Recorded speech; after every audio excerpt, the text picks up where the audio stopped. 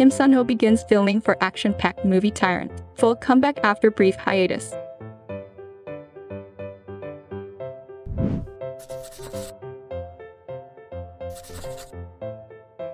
After a successful year in 2021, which included starring roles in hit dramas such as Start Up and Hometown Cha Cha Cha, Kim Seon-ho is set to make his big screen comeback in the upcoming movie Tyrant.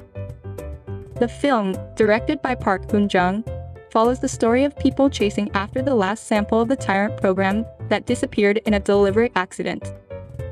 Kim Seon-ho will play the character of Choi Guk-jong, a member of a state institution who has been secretly operating the Tyrant program.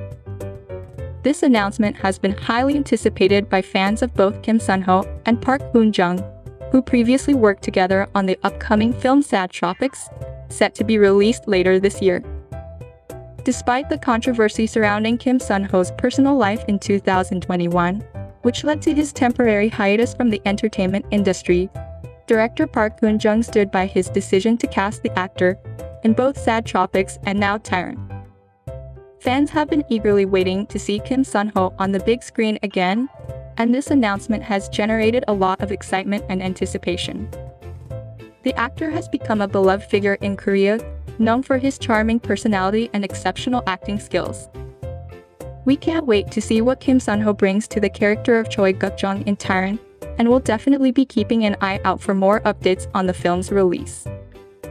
Thank you for watching, and let us know in the comments what you think about Kim Seon-ho's latest project. Don't forget to subscribe, like, and share if you enjoyed this video, and we'll see you next time.